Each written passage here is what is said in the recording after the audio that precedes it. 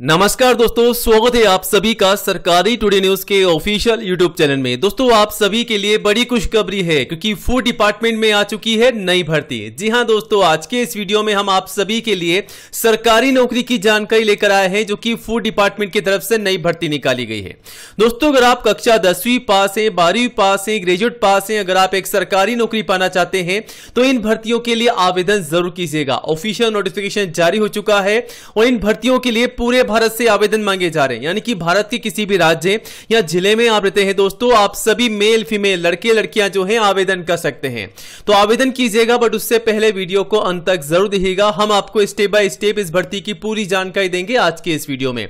Video काफ़ी महत्वपूर्ण होने वाला है आप सभी अभ्यर्थियों के लिए।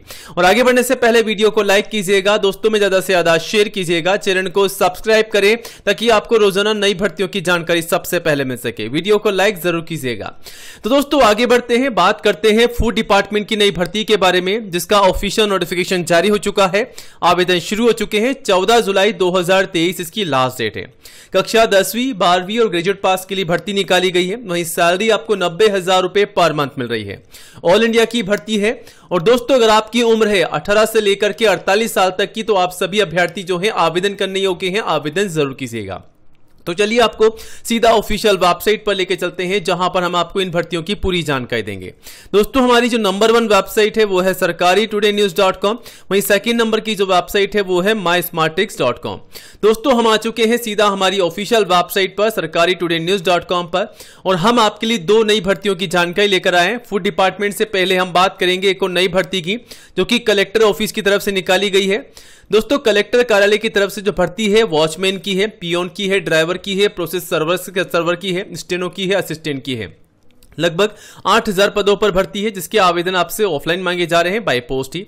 एज लिमिट जो है कम से कम 18 साल है, अधिकतम जो है 40 साल है और आईसीयू में छूट भी है।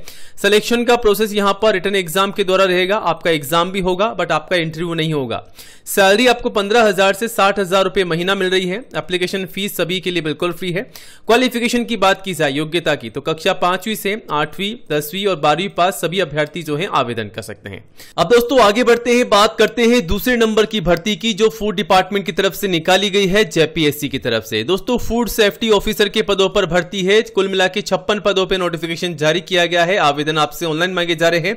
सिलेक्शन का प्रोसेस रिटर्न एग्ज़ाम के थ्रू रहेगा। सैलरी आपको पैंतीस सौ एक लाख रुपए महीना मिलेगी। एज लिमिट जो है कम से कम अठारह साल है, अधिकतम जो है अड़तीस साल है।